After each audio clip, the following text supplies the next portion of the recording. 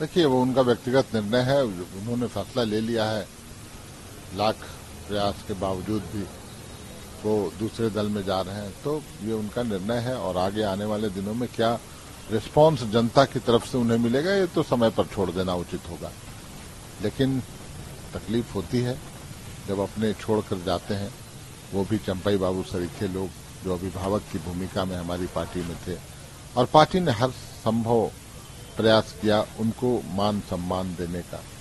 मुख्यमंत्री पद की कुर्सी तक दी गई उनको। उसके बावजूद वो अगर असंतुष्ट हैं तो इसमें पार्टी, मुझे नहीं लगता है, और क्या कुछ कर पाएगी।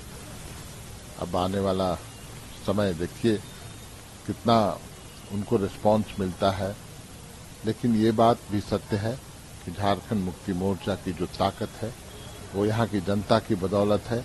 हमारे नेता हेमंत सोरेन की प्रतिबद्धता की बदौलत है, हमारी जो सोच है, हमारी जो नीति और नियत है, उसकी बदौलत है, और उसमें कोई परिवर्तन नहीं है। आने वाला समय फिर से हमारा होगा।